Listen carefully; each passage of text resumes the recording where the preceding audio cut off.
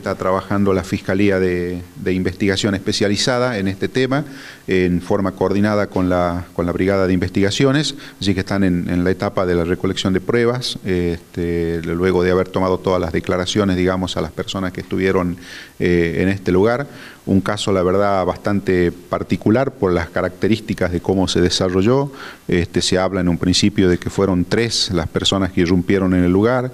No descartamos que hayan habido otros en, la parte externa del, lugar, del edificio donde se concretó este hecho.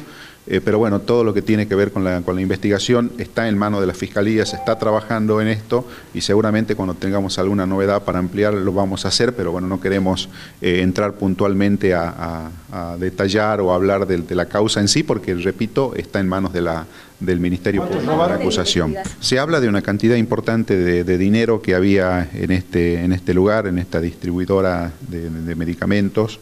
Este, se habla de que las personas que ingresaron al lugar de estos tres que le hacía referencia lo hicieron con, con armas de fuego.